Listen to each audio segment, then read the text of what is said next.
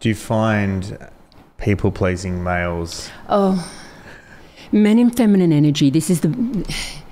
This is a massive problem. Masculine energy and feminine energy, because it's not related to, to gender. We're androgynous. We have masculine and feminine. And what happens, you have a lot of masculine women. And I don't mean physically masculine, I mean in masculine energy.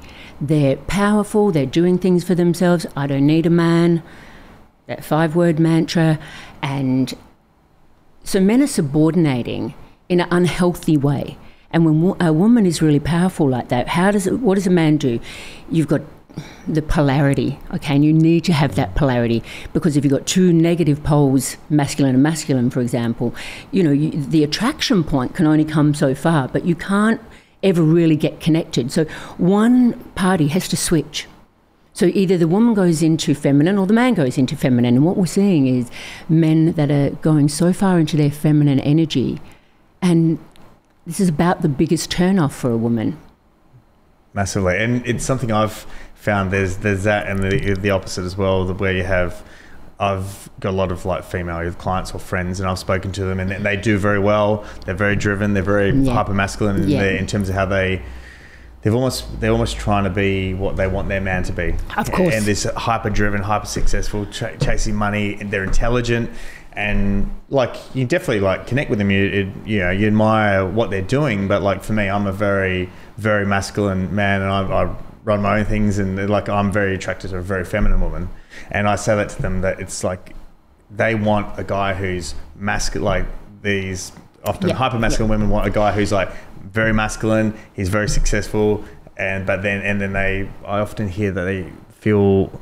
Um, when they meet that guy, then they'll soften up and go into their feminine. Yeah, it doesn't work that way. As no. you know, it doesn't work that way. And and really, the things that women care about in a relationship and how they would choose a partner are completely different to what a man would care about. You know, most men I know that sure they, they want a woman that they can have a conversation with and she's got she's got energy they you know they like the woman's vibe mm. playfulness mm. softness they, they don't really care if she's a doctor a lawyer or you know or a shop assistant it doesn't matter as long as she's happy in herself. She brings in peace. She's not overly critical and demanding, and he doesn't care about those things that she's displaying. Going, hey, well, look what a good catch I am because I'm all the things that I want you to be.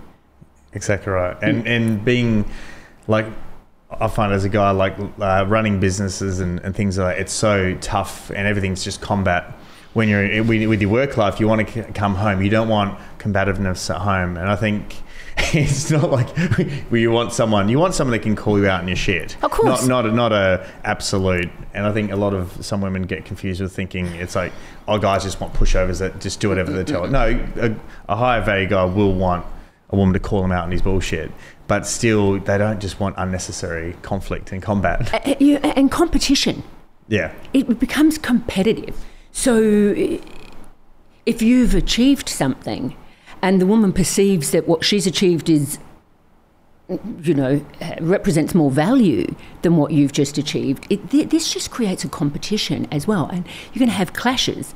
And why would you want to clash in a relationship? Relationships are there to make us grow. Of course they're there to make us grow. So you do want a woman that's able to uh, communicate with you and bring you back when you've you know gone off somewhere and call you out on your shit 100% but that doesn't mean that there's a there's a space where there's betterness.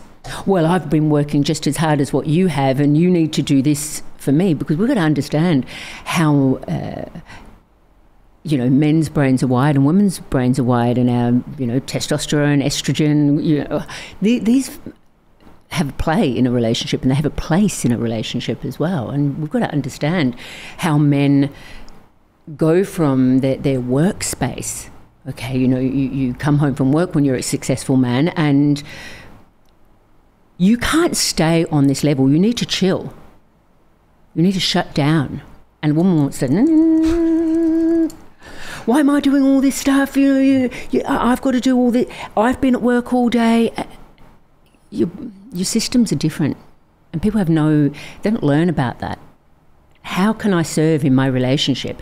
How can I make this relationship better? How can I get what I want by giving him what he wants? Because how can we collaborate in this relationship? Definitely.